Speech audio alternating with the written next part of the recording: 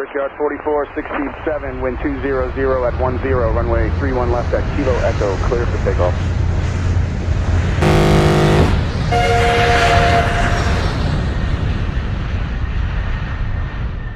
So, you booked a third class ticket on an ocean liner and you want to know what to expect.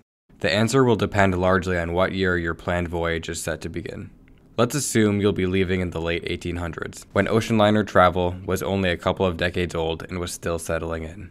As someone who is poor and likely immigrating to a new country or traveling to visit your family back home, you arrive at the office of a shipping line or agent to book your passage across the ocean. For something like £3 sterling, the clerk or agent hands you a ticket, or perhaps a contract, which will later allow you to board the ship. On the day your ship is scheduled to sail, you arrive at the wharf. Everything you will be needing during the voyage is on your person a mattress, eating utensils, a little money, and maybe a family token to remind you of home. Like all the ships at the time, yours is relatively small. For example, Britannic of the White Star Line was large, fast, and prestigious for 1880 but was still only 468 feet long and 5,000 tons. As a result, third class passengers had to wait on the docks until all cabin passengers, those who paid enough to have their own private space during the journey, had boarded. Once the order was given, the steerage passengers boarded and were guided below deck to their living spaces. From time to time, one of the more fortunate steerage passengers would take one look around the large open space they and a couple hundred others were set to occupy during the voyage and would immediately disembark the ship to pay for the difference for a cabin ticket. During the voyage, steerage passengers were provided daily rations of food and water. Here's an example of what would be allotted for a single steerage passenger on the Cunard line in 1888. 3 quarts of water, excluding what was necessary for cooking, 3% pounds of bread, 1% pounds of fresh bread, 1 pound of flour, 1% pounds of oatmeal, 1% pounds of rice, 3 pounds of potatoes, 1% pounds of peas, 4 ounces of raisins, 2 pounds of beef, 1% pounds of pork, 1 pound of fish, 2 ounces of tea, 2 ounces of coffee or cocoa, 1 pound of sugar, 1 gill of molasses, 1 gill of vinegar, 3 ounces of salt, 1 ounce of mustard and pepper. Children under the age of 8 would receive exactly half of each ration. Before we get further into this video, I want to remind you to hit the subscribe button. If you're interested in transportation, history, or both, you'll want to know when a new video is posted. If you have something to say, make sure you leave a comment below. Okay, back to the video.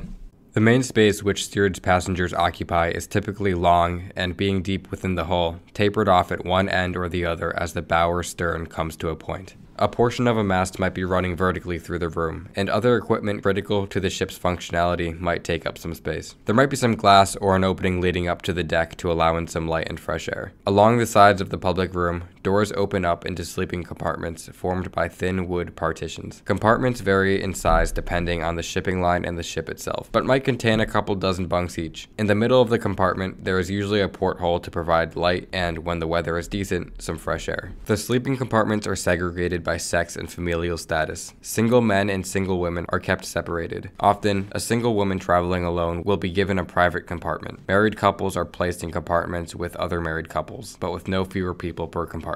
Depending on the size of the ship, the public room might be converted to accommodate tables and seating for dinner. Alternatively, there might be a separate dining saloon for the steerage passengers to eat dinner. Either way, the food is plenty and more nutritious than some steerage passengers are used to. Nonetheless, meals are often tasteless or worse. Since you will be supplying your own dishes and utensils, you will be expected to clean the dishes yourself. A tub of hot water will be put out on deck for cleaning, and scraps of food can be dumped over the side of the ship. The tub, of course, will get cold quickly, and only a fortunate few will be able to wash their dishes in water absent of food debris. Drinking water will be put out in the public room, but fresh water being limited, you'll likely have to drink from a public cup so that the stewards can be sure you are not taking water for other purposes such as cleaning. Using the lavatory is usually more difficult and uncomfortable at sea than on shore especially for women. Of course, a private bathroom is out of the question, but even getting to the public facilities could prove difficult as they might not be within the usual steerage compartment and likely requires a walk out on deck. Bear in mind, the need to use the bathroom does not stop when seas are rough and weather extreme. For some, sleeping might be the most uncomfortable part of the day in steerage. Like everyone else, you have no privacy. So if you're not accustomed to sleeping in the presence of strangers, not to mention strangers who could be a little rough around the edges, falling asleep might prove difficult. With any luck, the seas will be calm at night and you will not have to contest with the ships rolling and pitching as you try to sleep. Even if there are no seas at night, it is important to remember that safe passage during ocean voyages is not a guarantee in 1880. Ships sink regularly for various reasons, and this is a fact present in the minds of all aboard Since the ships are still small and especially vulnerable to the sea, passengers cannot be on deck when the conditions are beyond a certain state. Passengers can be thrown around the deck, breaking bones or washing them overboard if a wave hits the ship just right. Those prone to seasickness are forced below despite the fact that enclosed spaces and stale air only make seasickness worse. The bow and stern of the ship, which is where steerage accommodations are typically situated, pitch up and down more than the center of the ship, making seasickness even worse. Worst of all, violence and aggression among the passengers is common, although its presence varies between ships and particular voyages. Young women, who are usually afforded little or no privacy, can be verbally and physically attacked or harassed by other passengers on a regular basis. The immigrants among the steerage passengers always face the possibility of being turned back once the ship arrives at its destination. Luckily, though, if this happens to you, the shipping line will pay the fine and the cost of your return journey home.